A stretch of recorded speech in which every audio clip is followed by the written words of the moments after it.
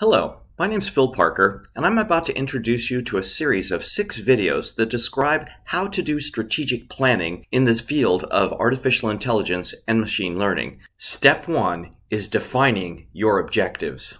Without any doubt, this is absolutely the most important step in strategic planning. There are two aspects of this. One is from the leadership position. They'll be thinking about financial and social objectives. And equally important are the deliverables. That's the thought process of the typical application developer. These are the deliverables that include visualizations, apps, robots, etc. We'll begin our discussion with a simple thought experiment. Imagine we're playing a chess game. I'm black and you're white. And I give you the instructions to beat me in four moves.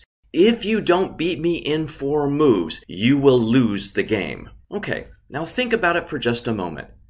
What type of behavior are you likely to have in playing this game? Think of a pawn as a server blade. Think of a knight as a piece of software. Are you going to be passive or are you going to be extremely aggressive? Of course, the answer is you're going to be very aggressive. Not only that, but you're also going to have to assume that Phil doesn't know chess very well. Okay, now I want you to forget everything about the previous game. Here's a new chess game. I want you to take as many pieces off the board as possible, including your own pieces, so that at the end of the game, I win and you lose. If you win the game, you in fact lose the game because you want me to win.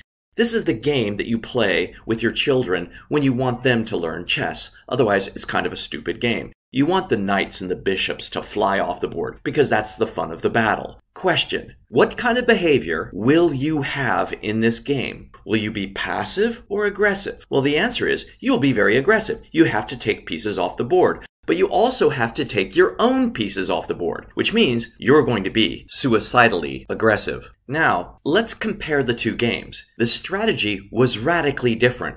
The only thing that changed was me changing the objective. That's why you start with the objective first. It will have a fundamental influence on what chess pieces you move, on what algorithms you choose, on what kind of people you hire, on what kind of software and hardware is ultimately used. Let's go back to the real world.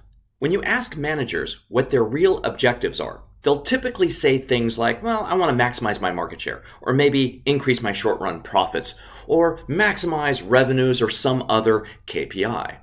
When you go to people in the machine learning world, they'll talk about graphical user interfaces. They'll talk about fancy curves, maybe using the cloud or maybe using a server, perhaps network architecture. When you probe both the managers and the people who are developing applications, what you discover is that both the managers and the developers both think they're maximizing shareholder value. Maximizing shareholder value is actually a machine learning control problem. So let's pause for a moment and ask ourselves, what is that problem exactly? And formulate it. What we're now going to discuss is what I call the equation, the core equation that should drive all decision making in the field of artificial intelligence or machine learning. This is going to be intensive. So if there's a moment to pause this video and take a biology break, now's that time.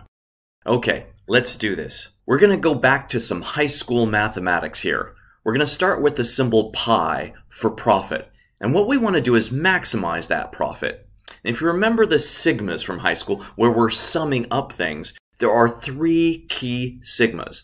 The first sigma is we have to decide in which countries do we want this application to be used in. Just because we're targeting China, for example, doesn't mean that our products or services are going to be sold to all people in China. We then have to decide which segments we are going to target, maybe 10 or so. After we decided we want to target, let's say, teenagers in China, we have to decide what the products and services and or applications we're going to deploy for that segment in that country. These three sigmas are typically called a product marketer's portfolio. Okay, from that portfolio, we're going to be discounting cash flows from today to some time horizon T. We're going to discount those cash flows using a discount rate. If you're not sure, just put 10% and add 0.23 to make it look like you calculated it. For each product that we sell, there's going to be a price, and we're going to subtract the marginal cost off of that price. That's called the margin. We're going to multiply that margin by the amount of units that we actually sell. And that's called the gross profit. What's missing, of course, is the overheads. That we're going to call fixed cost. When you subtract your fixed cost from your gross profits, you end up getting your net profits. Now, my brother Jay, he's an anesthesiologist, and he says, Phil, how can you spend so much time on business? Isn't business kind of trivial? You basically have to sell something to somebody somewhere. Buy low, sell high, but don't spend too much money doing it. Yep, that's pretty much it. But there is a problem. What's the optimal price? Well, infinite, of course. What's the optimal marginal cost? Now that would be zero. And what's the optimal fixed cost? That would be zero as well. Selling oxygen to everyone everywhere at an infinite price is the ultimate business model. The only problem is that, well, price actually affects the units you sell. If you charge too high, no one's going to buy your product. As you sell more products, your marginal cost might go down. As you expand internationally, your fixed costs go up. That also will have an effect on the units you sell. Therefore, there are three constraints. These constraints are represented in three functions. Your units are a function of, for example, your marketing strategy. Your marginal costs are a function of your materials, maybe the volume of what you produce and the technology used to produce them. And your fixed cost, of course, might be a function of your portfolio or of your creativity. Now the question is, can you mathematically solve this problem?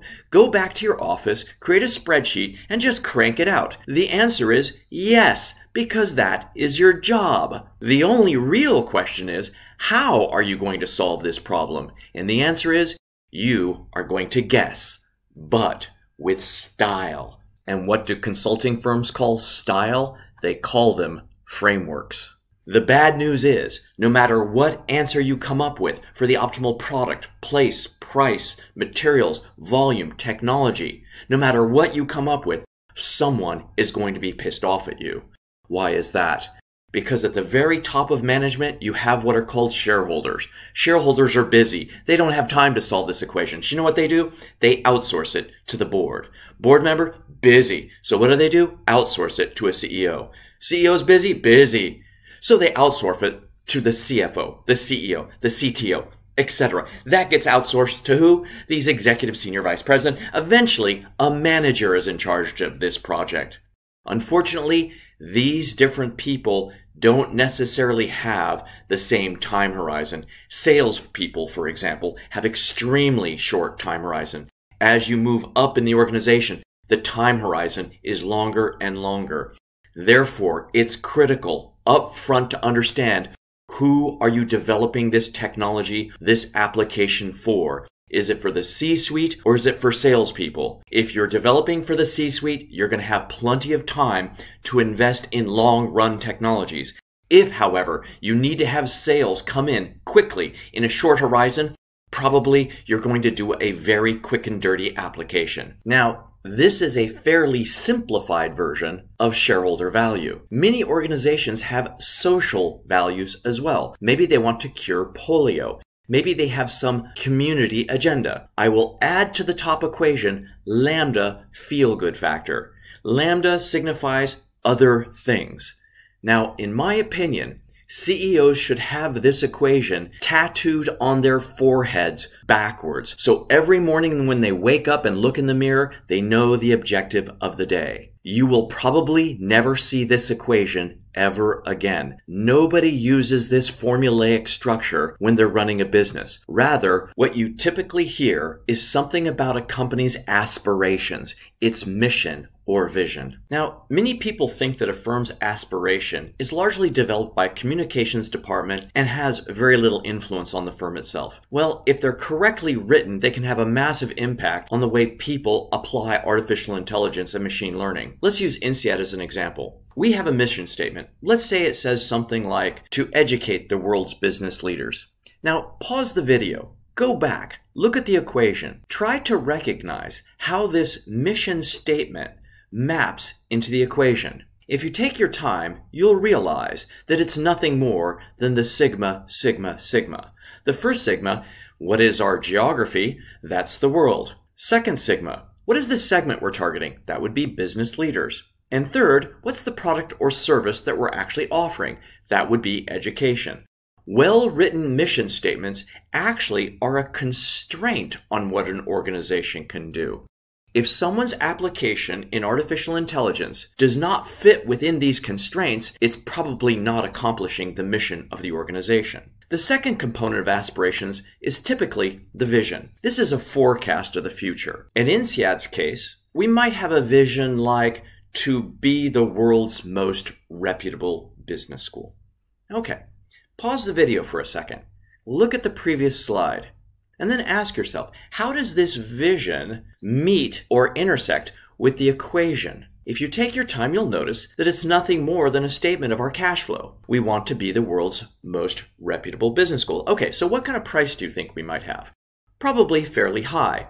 Are we going to pay our faculty well? That's our marginal cost. Yeah, probably we will, because we want to have reputation. Which means what? We probably won't sell that many units. And in order to keep our reputation high, we might what? Increase our fixed costs. Have a nice restaurant. Have nice amphitheaters.